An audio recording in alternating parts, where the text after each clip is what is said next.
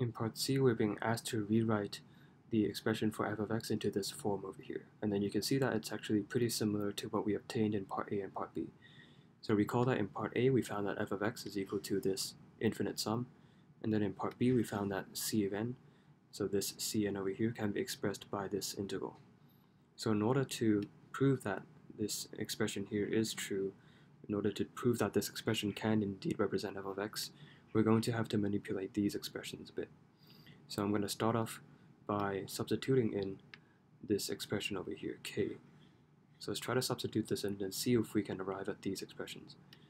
So k is equal to n pi over a, and I personally like to add a subscript n over here for the k to signify that for every different n there's a different k, so that there is not just one single k that applies to every single choice of n. So I think, I personally think it's clearer to add a subscript over here. So I'm going to substitute this inside this expression. So f of x is equal to this infinite sum. We have cn, and then all we have to do is just to substitute the k inside.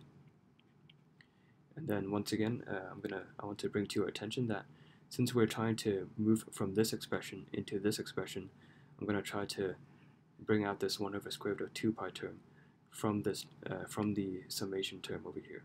So all I'm trying to do is try to go from here and try to construct this alternative form here bit by bit. So I'm going to try to create this 1 over square root of 2 pi term. And then I can do that by adding it over here to the front and then multiplying it back by the square root of 2 pi.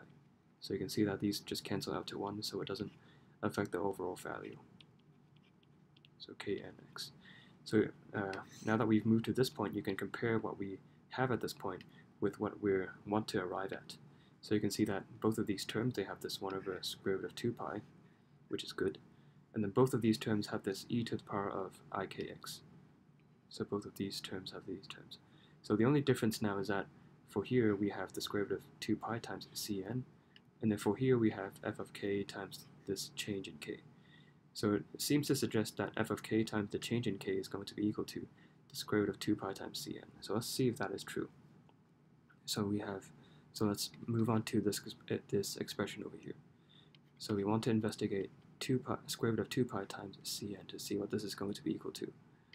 And then we can just substitute this in directly. So we have negative a to a f of x, and then e to the power of negative i knx dx. And then for this term over here, I'm going to do something very similar. So you see that there's this 1 over square root of 2 pi term in front of the integral. So I'm going to try to force that out of this term uh, in the same way I did here for the summation uh, term. So I'm going to attach this 1 over square root of 2 pi, and then I'm going to multiply the remaining term with, this, with the square root of 2 pi.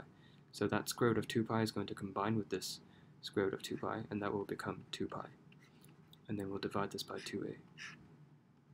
And then this integral goes from negative a to a f of x e to the power of negative i dx.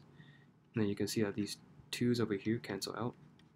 So you see that there's this 1 over square root of 2 pi, negative a to a f of x e to the power of negative i dx. So we have this integral and then this whole integral get mul gets multiplied by pi divided by a. So you can see that the square root of 2 pi times cn is equal to this entire term over here. And I should bring to your attention that the pi divided by a is actually equal to the change in k. So you can see that k, a change in k is the increment of k from one end to the, to the next. So what that means is that the change in k is equal to, so you can imagine going from the next step so you're starting at n, so move on to the next step, n plus 1. So the change in k would be the next step minus the original step, and that would be, be equal to pi over a. So this is the length of each step of k, so as n keeps varying. So you can see that change in k is actually equal to the to pi over a. So that corresponds to this term over here. So for this term, I can just rewrite this as the change in k. And then for this integral over here, you can see that it is exactly equal to what we have over here. So this term here is indeed equal to f of k. So now what this means is that we started off with the square root of 2 pi times cn, and then we managed to, through all these steps, prove that this is indeed equal to the change in k times f of k. So what that means is that I can just substitute this expression into this summation over here.